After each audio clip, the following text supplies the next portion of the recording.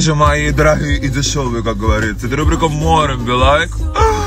Я еле проснулся, реально такой похмелос адовый, брелся слегонца в порядок, соответственно, я все еще девственно, мы едем по делам.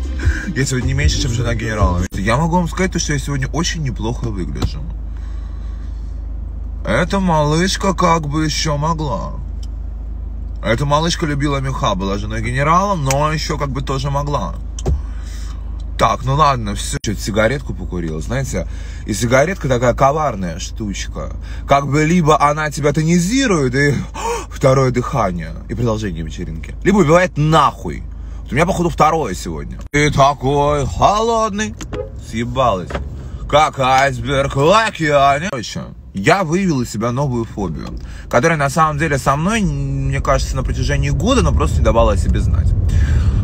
Я, в общем, боюсь того, что у меня в двигателе заведутся мыши. Это странная вообще хуйня, я согласен полностью. Но просто наслушавшись истории от своих там друзей, подруг, знакомых и родственников, что такое бывает, и неважно, какая у тебя машина, Лада, Бентли или что еще, мыши, сами понимаете, могут заползти куда угодно, и они бегут в целом и заводятся в двигателе из-за того, что на улице холодно, а когда машину паркуешь, двигатель-то теплый, и они в тепло бегут. И там, соответственно, размножаются, какают, перегрызают проводку, тормоза и так далее. Я сегодня первым делом, прежде чем завести машину, открыл капот. Понимаете? Интересно, я теперь каждый раз так буду делать? Просто это будет дурка. Реально. Вот.